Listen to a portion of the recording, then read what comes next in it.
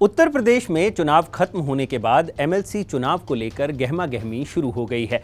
इसके साथ ही शुरू हो गई है यादव और ठाकुरों की बहस, जिसमें दलित कहीं ना कहीं पीछे छूटते नज़र आ रहे हैं। लेकिन इस वीडियो में हम सियासत की बात नहीं करेंगे। हम बात करेंगे बिन मांगे ज्ञान की। क्या आपको पता है कि एक एमएलए और एक एमएलसी में क्या अंतर होता है? विधानसभा और विधान परिषद में क्या फ़र्क है? एक एमएलसी कैसे चुना जाता है? संविधान के किस आर्टिकल में विधान परिषद का ज़िक्र है? और कितने राज्यों में ये एमएलसी वाला कॉन्सेप्ट है? आज बात इन्हीं सवालों पर। नमस्कार, मेरा नाम है भूपेंद्र सोनी और आप देख रहे हैं अनकट। भारत में स्टेट और सेंटर दोनों जगह बाइकैमरल सिस्टम फॉलो किया जाता है। बाइकैमरल सिस्टम यानी दो सदनों वाली प्रणाली। जैसे आप सेंटर में देखते हैं ना, वहाँ एक सदन लोकसभा है और दूसरा सदन राज्यसभा। इसी तरह स्टेट में भी दो सदन होते हैं, एक विधानसभा और दूसरा विधान परिषद। अंग्रेज़ी में कहें तो लेजिस्लेटिव असेंबली और दूसरा लेजिस्लेटिव काउंसिल। अब जैसे सेंटर में राज्यसभा ऊपरी सदन कहलाता है और लोकसभा निचला सदन, उसी तरह स्टेट में लेजिस्लेटिव काउंसिल ऊपरी सदन बन जाता है और लेजिस्लेटिव असेंबली निचला सदन।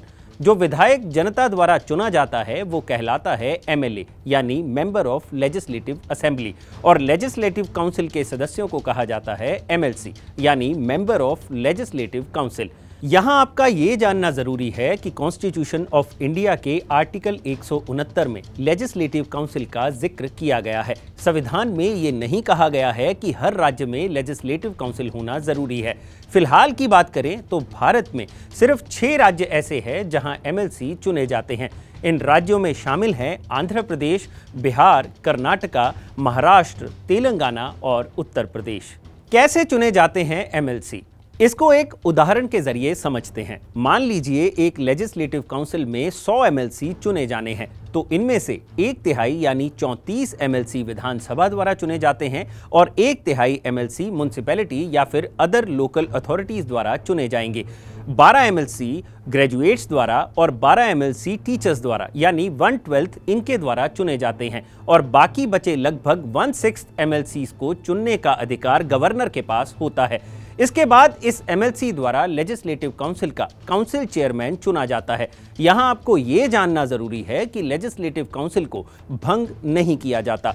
इसमें हर दो साल के बाद एक तिहाई सदस्य रिटायर होते हैं, जिनकी जगह नए सदस्य ले लेते हैं, यानी बिल्कुल राज्यसभा की तरह। एमएलए और एमएलसी में क्या फ़र्क होता है? एक एमएलए जनता के वोटों से चुना जाता है, जबकि एक एमएलसी को चुनने का तरीका हम पहले ही आपको बता चुके हैं। एमएलए बनने के लिए मिनिमम एज 25 साल है, जबकि एमएलसी बनने के लिए 30 साल उम्र होना ज़रूरी है। एक एमएलए का कार्यकाल 5 साल का होता है, वहीं एक एमएलसी का कार्यकाल 6 साल तक चलता है। यहाँ ये समझने की ज़रूरत है कि एमएलसी और एमएलए में फ़र्क तो होता है, लेकिन दोनों के पास जनता की भलाई के काम करने का अधिकार भी होता है। एक एमएलए जहाँ मंत्री बन सकता है तो वहीं एमएलसी को भी कैबिनेट मिनिस्टर का अहदा मिल सकता है। जैसे यूपी के मुख्यमंत्री योगी आदित्यनाथ और अखिलेश यादव दोनों ही एमएलसी कोटे से मुख्यमंत्री रह चुके हैं। लेजिस्लेटिव काउंसिल के पास क्या क्या पावर्स होती हैं? लेजिस्लेटिव काउंसिल में चुने गए एमएलसी के पास तीन मेन पावर्स होती हैं। इनमें पहली होती है लेजिस्लेटिव पावर्स राज्य के कोई भी आम बिल या नॉन मनी बिल को विधानसभा से पास होने के साथ साथ विधान परिषद से भी पास करवाना होता है। असेंबली में पास होने के बाद बिल काउंसिल के पास भेजा जाता है, जहाँ एमएलसीज उस बिल को रिजेक्ट कर सकते हैं, पास कर सकते हैं या फिर बिल को अमेंड भी कर सकते हैं। दूसरी होती हैं फाइनेंशियल पावर्स मनी बिल को पास करने की पावर सिर्फ़ असेंबली के पास होती है. लेकिन असेंबली में जब मनी बिल पास हो जाता है तो उसे काउंसिल के पास सिर्फ़ सुझाव के लिए भेजा जाता है. यानी मनी बिल के मसले में काउंसिल के पास उसे रिजेक्ट करने की पावर नहीं होती। और अगर काउंसिल बिल पर कुछ सुझाव देती भी है तो उन्हें मानना या ना मानना असेंबली के हाथ में होता है। और अगर काउंसिल इस बिल पर कुछ नहीं करती और उसे पास भी नहीं करती, तब भी 14 दिन के बाद उस बिल को पास समझा जाता है।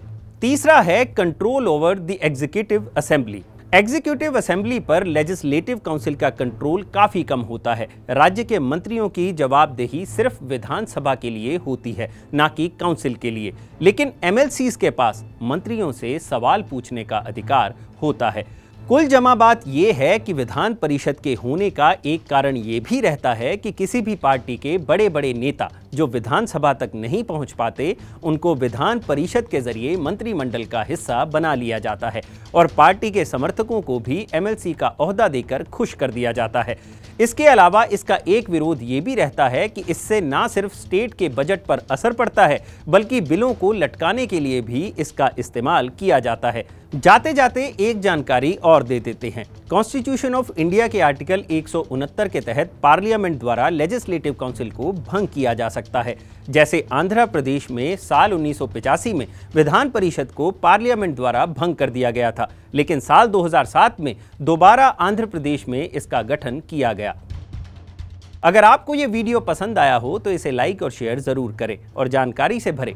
ऐसे ही और वीडियोस देखने के लिए सब्सक्राइब करें हमारा चैनल अनकट